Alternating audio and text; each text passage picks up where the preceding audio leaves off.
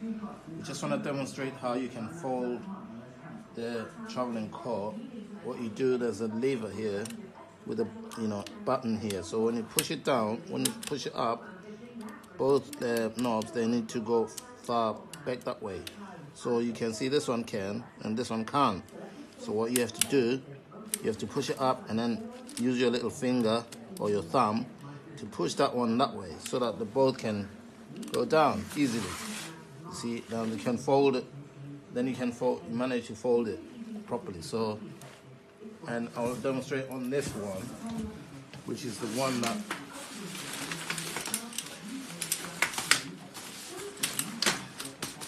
see, so we fold it together that way, and then this one the same.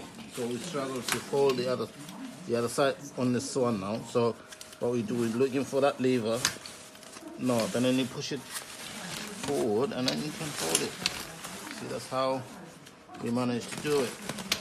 It's all to do to be able to find the knob. There's the three knobs here. You just push it over with your little thumb to manage to separate it and so that you can fold it. There we go. Nice and easy. Okay.